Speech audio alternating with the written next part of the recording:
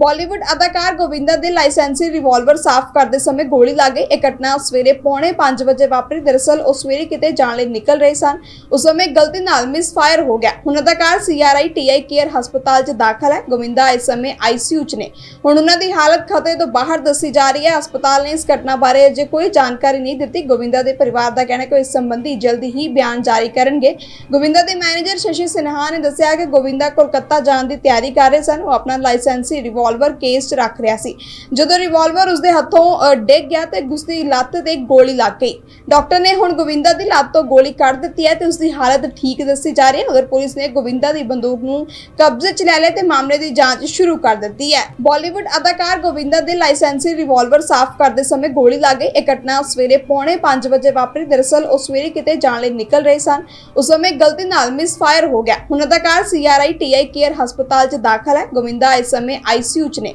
ਹੁਣ ਉਹਨਾਂ ਦੀ ਹਾਲਤ ਖਤਰੇ ਤੋਂ ਬਾਹਰ ਦੱਸੀ ਜਾ ਰਹੀ ਹੈ ਹਸਪਤਾਲ ਨੇ ਇਸ ਘਟਨਾ ਬਾਰੇ ਅਜੇ ਕੋਈ ਜਾਣਕਾਰੀ ਨਹੀਂ ਦਿੱਤੀ ਗੋਵਿੰਦਾ ਦੇ ਪਰਿਵਾਰ ਦਾ ਕਹਿਣਾ ਹੈ ਕਿ ਉਹ ਇਸ ਸੰਬੰਧੀ ਜਲਦੀ ਹੀ ਬਿਆਨ ਜਾਰੀ ਕਰਨਗੇ ਗੋਵਿੰਦਾ ਦੇ ਮੈਨੇਜਰ ਸ਼ਸ਼ੀ ਸਿਨਹਾ ਨੇ ਦੱਸਿਆ ਕਿ ਗੋਵਿੰਦਾ ਕੋਲਕਾਤਾ ਜਾਣ ਦੀ ਤਿਆਰੀ ਕਰ ਰਹੇ ਸਨ ਉਹ ਆਪਣਾ ਲਾਇਸੈਂਸੀ ਰਿਵਾਲਵਰ ਕੇਸ 'ਚ ਰੱਖ ਰਿਹਾ ਸੀ ਜਦੋਂ ਰਿਵਾਲਵਰ ਉਸਦੇ ਹੱਥੋਂ ਅ, ਡਿੱਗ ਗਿਆ ਤੇ ਉਸਦੀ ਲੱਤ ਤੇ ਗੋਲੀ ਲੱਗ ਗਈ ਡਾਕਟਰ ਨੇ ਹੁਣ ਗੋਵਿੰਦਾ ਦੀ ਲੱਤ ਤੋਂ ਗੋਲੀ ਕੱਢ ਦਿੱਤੀ ਹੈ ਤੇ ਉਸਦੀ ਹਾਲਤ ਠੀਕ ਦੱਸੀ ਜਾ ਰਹੀ ਹੈ ਉਧਰ ਪੁਲਿਸ ਨੇ ਗੋਵਿੰਦਾ ਦੀ ਬੰਦੂਕ ਨੂੰ ਕਬਜ਼ੇ 'ਚ ਲੈ ਲਿਆ ਤੇ ਮਾਮਲੇ ਦੀ ਜਾਂਚ ਸ਼ੁਰੂ ਕਰ ਦਿੱਤੀ ਹੈ